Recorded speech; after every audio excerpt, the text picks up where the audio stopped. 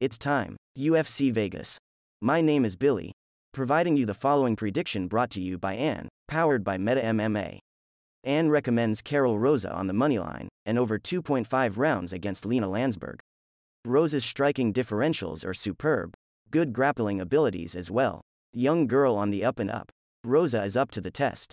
She must prove to the world that she is still a purposed UFC prospect. Hey, let's get behind the action. Thank you for watching. Hammerfist the subscribe button, like and share. Welcome to the science of MMA. May Lady Luck be forever at your side.